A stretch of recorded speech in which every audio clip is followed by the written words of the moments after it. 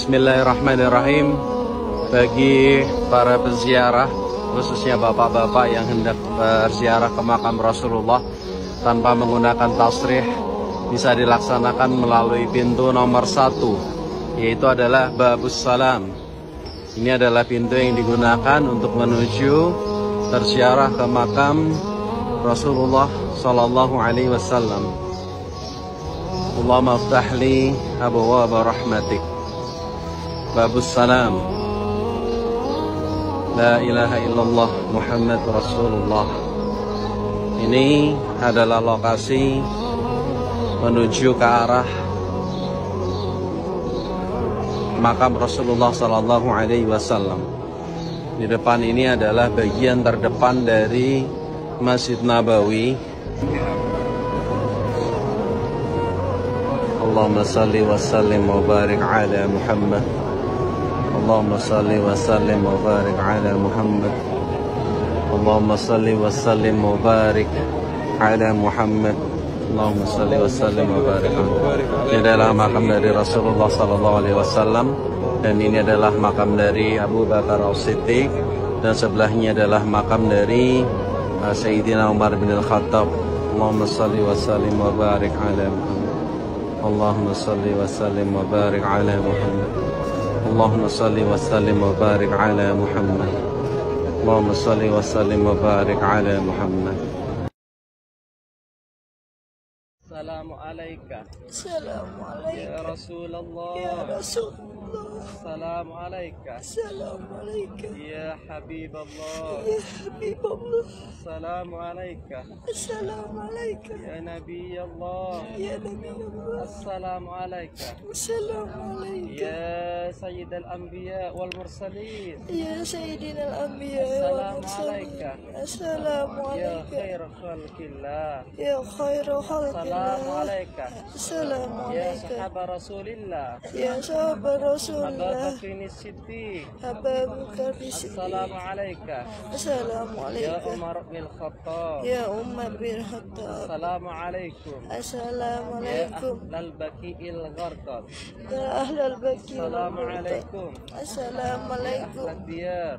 أهل من الديار. المسلمين والمسلمات. والمسلمين والمؤمنين والمسلمات والمؤمنات. والمؤمنين إن والمؤمنات شاء الله.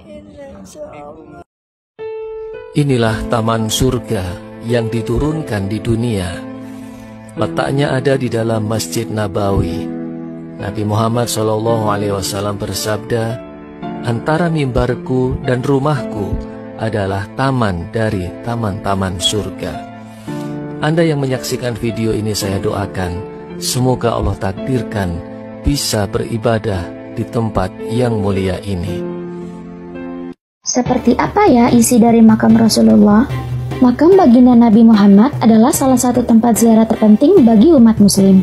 Sebelum dijadikan makam, tempat ini adalah rumah sekaligus kamar beliau bersama istrinya, Aisyah. Setelah Masjid Nabawi diperluas, makam Nabi pun masuk ke dalam kompleks Masjid Nabawi yang berada tepat di bawah kubah hijau. Saat Nabi Muhammad wafat pada 12 Rabiul Awal tahun 11 Hijriah, beliau dimakamkan di kamar ini dan Aisyah hanya menjadikan tirai sebagai pemisah antara makam beliau dengan ruangannya. Kemudian Abu Bakar yang juga ayah dari Aisyah meninggal dunia. Ia berpesan bahwa dirinya ingin dimakamkan di samping makam sahabatnya, Nabi Muhammad SAW. Aisyah pun menggeser tirainya ke depan untuk memisahkan ruangannya dengan kedua makam tersebut.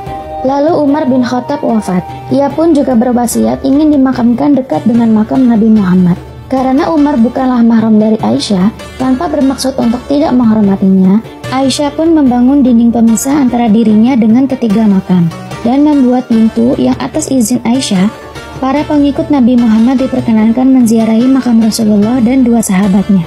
Tahun 88 Hijriah, Al-Walid bin Abdul Malik melakukan perluasan dan renovasi Masjid Nabawi.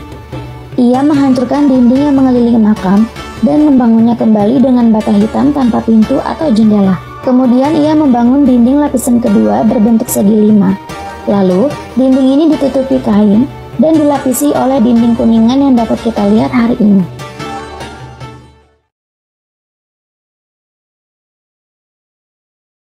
rezekinya. Saya pernah umroh juga, ini pengalaman lain ya. Saya pernah umroh sama satu orang. Kebetulan saya berangkat umroh setiap dua bulan sekali bimbing. Maka ada kadang-kadang jemaah yang ikut gitu kan. Ada satu pernah jemaah dari Irian. Pernah tahun 2003 saya ke Irian ikut sama saya umroh. Waktu itu bintang 5. Kurang lebih sekitar 35 juta lah dia bayar. Selesai habis sholat di Masjid Haram Mekah, saya tanya, Pak, Bapak bayar berapa? Sekitar 35 juta Ustaz. Mahal gak? Ya sedang lah, kebetulan dia orang mampu. Sedang lah. Terus saya bilang sama dia, Pak mau nggak kita hitung, saya hitungkan Bapak pahala yang Bapak dapat. Hmm? Kaget dia, memang bisa Ustaz, ya yang ada dalilnya saja. Mau? Mau, oke. Bapak sudah tahu belum hadisnya? Sholat di Masjid Haram Mekah, pahalanya sama dengan 100 ribu kali dibandingkan tempat lain. 100 ribu kali. Kalau kita pegang sholat wajib lima waktu saja, duhur, subuh, duhur, asar, maghrib, isya. Ini kan satu hari satu kali kan kita kerjakan. Subuh cuma sekali, duhur cuma sekali, tidak pernah dikerjakan dua kali kan? Berarti kita anggap 100 ribu kali itu adalah 100 ribu hari. Kalau 100 ribu hari dibagi hari satu tahun, dua, tiga, 365 hari, itu keluar angka 274 tahun. 274 tahun. Jadi sholat satu kali di Masjid Haram sama dengan 274 tahun sholat di Indonesia. Itu sholat sendiri. Kalau sholat berjamaah, hadis Nabi SAW, riwayat Imam Ahmad. Kalau sholat seseorang dari kalian di pasarnya, di rumahnya dibandingkan masjidnya, perbandingannya 25 kali lipat. 25 kali lipat itu kalau kita kali 274 kali 25, itu kurang lebih 6.500 tahun. Saya bilang sama bapak itu, Pak, 6.500 tahun bagi 35 juta, ada nilainya nggak? 35 juta sudah masuk ongkos tiket pulang pergi, hotel, makan, transportasi, banyak manfaatnya. Belum lagi pengalaman spiritual, banyak pengalaman. Maka target kalau mau safar pun, safar yang berbobot. Karena waktu ini terbatas. Waktu terbatas.